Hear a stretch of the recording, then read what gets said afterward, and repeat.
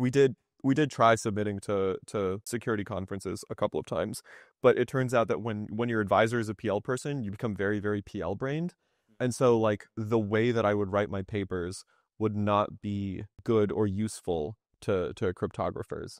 Uh, so yeah, mostly mostly PL. Mm-hmm. Mm-hmm. That is so funny, man. That is so great.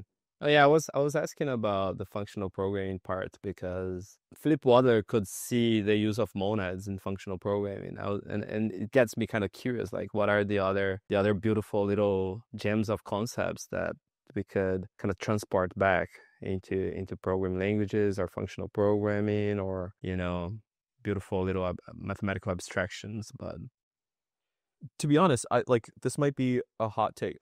This might get this might get me canceled for for saying this on on the on the Type Theory Forall podcast but i don't think category theory is useful for understanding monads in haskell.